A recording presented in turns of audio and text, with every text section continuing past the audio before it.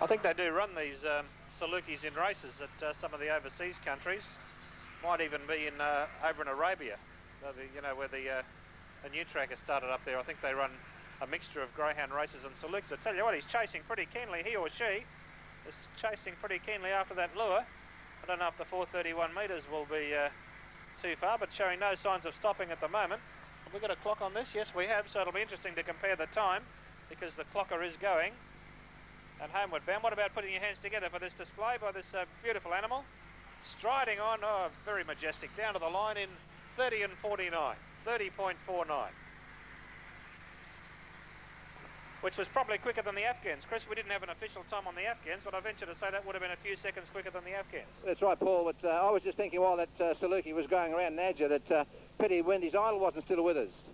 We could have had a match race. Maybe, uh, no, you might not have won that one either, I'm sorry. well, we've got to draw this. You finish up there?